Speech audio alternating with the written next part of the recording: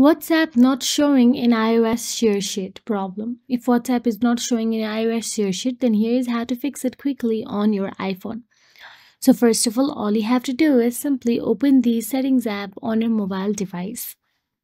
Once inside the settings app, scroll down and tap on the Apple Intelligence and Siri option available there. Now scroll down and there you'll get to see suggest app before searching option available.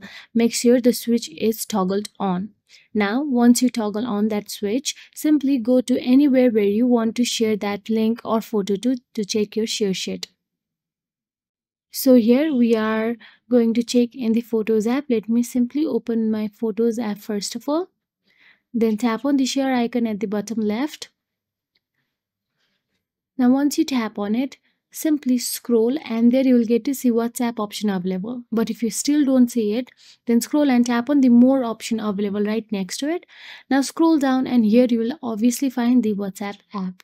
So that is it. If you found this video helpful, please like, share and subscribe and thank you so much for watching.